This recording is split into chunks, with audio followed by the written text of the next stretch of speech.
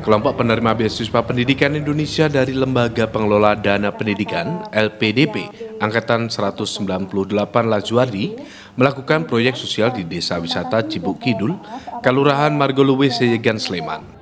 Proyek sosial ini merupakan persiapan keberangkatan para penerima beasiswa tersebut sebelum mereka melanjutkan studi magister atau doktoral di berbagai universitas dalam negeri maupun luar negeri.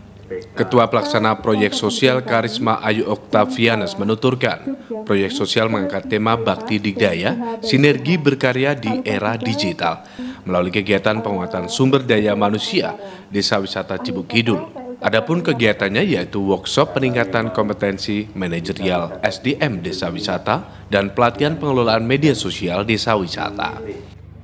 Jadi proyek ini itu diinisiasi oleh ORD LPDP PK 198 Laguardi. Jadi di kegiatan ini kami bekerja sama dengan masyarakat Cibuk Kidul untuk menyukseskan uh, desa wisata di Cibuk Kidul kayak gitu.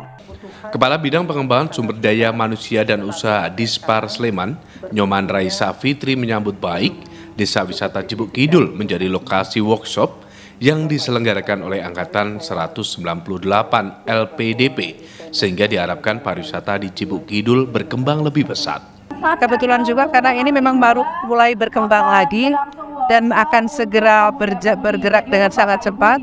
Tadi saya sampaikan bahwa memang ada banyak PR-nya di sini. PR-nya memang betul uh, di dalam penyiapan paketnya supaya mereka benar-benar bisa langsung menjualnya dengan lebih siap.